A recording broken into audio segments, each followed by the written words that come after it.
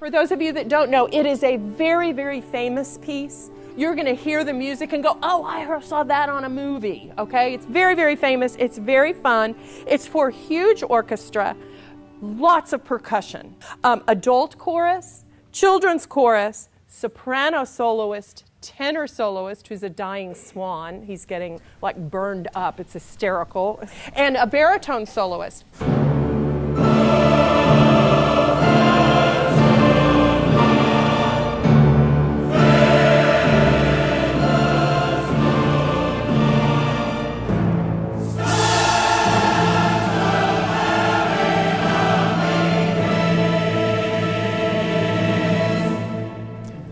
Uh, the Carmina Burana has some challenges in it. It's not technically difficult for the chorus in the sense that the motives are very straightforward, they're very simple. What Orff, the composer, is working with is uh, primitive blocks of sound that repeat again and again. So it doesn't say A happens and then B and then C, but rather we get different scenes. Sometimes a scene with lovers, sometimes a scene with a solo um, priest who's speaking from his from his heart about uh, some confessions that he's making. Uh, other times, the chorus functions as sort of the Greek chorus that speaks about the drama in general. So there are all kinds of different aspects of this piece and different roles. We say it's songs of love and songs of happiness and songs of drinking or songs of gambling, but we don't get into too much detail about how much love or how much drinking because they're young. So their parents can teach them that. and you're singing Love Flies Everywhere. Amor volat undique.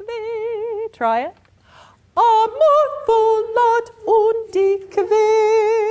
The chorus sings in the choral terrace. Here in the Meyerson Symphony Center, we're blessed with one of the finest symphony halls in the United States.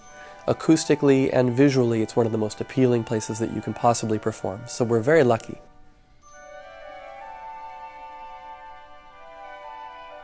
One of the challenges that we have to contend with as a chorus is the fact that we're spread out over a great width here. If you look at the orchestra, you'll see it's only about 40, 45 feet. But from one end of the chorus to the another, we're looking at hundreds of feet of distance. So we're constantly working on ensemble, careful listening, watching, staying together with the maestro. These are all aspects that we train very, very, very hard to make sure that the performances are of the top level.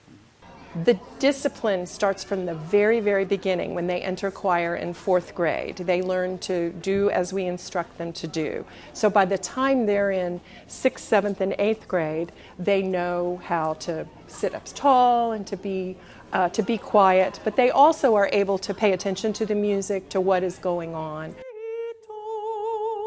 Up nice and tall from the very beginning you have two four measure phrases to begin, and we're going to start right at uh, right after 103. And is it difficult to stand still for long periods of time?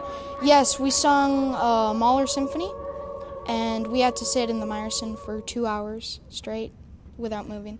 That was probably the worst thing we had to do. That was, but that was really fun. You're focused on what you want to sing and how you're going to sing it to the best of your ability, so you don't really focus on anything besides singing until you're done. But we're lucky here in Dallas to have the Children's Chorus of Greater Dallas. They're beautifully trained, they're musically very, very solid, and they're also trained in the ability to be a part of a performance in a very adult way. Sing.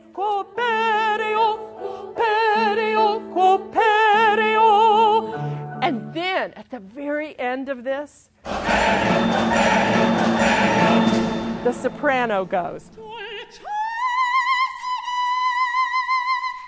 One of the beauties of the human voice is that we have no intervening instrument. It's just us coming through our bodies to sing. So I would say to, to audience members as they listen, they'll hear this incredible wall of sound from the very beginning of Carmina. It's incredibly impressive. But don't look only for that. Look too for the individuals. See if you can find people who engage you physically because it'll make the performance come alive that much more. I really love to sing and I think that I'm pretty good at it. I'm never really nervous in the concert hall because we have a choir of 90 people and almost if I make a mistake, they can carry me and vice versa.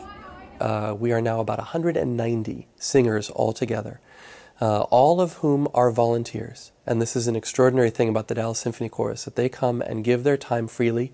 Many of them are professional musicians, they're music educators or singers, but their membership in the chorus is totally of their own free will. So it's an incredible thing to be part of this volunteer organization that nonetheless is so huge.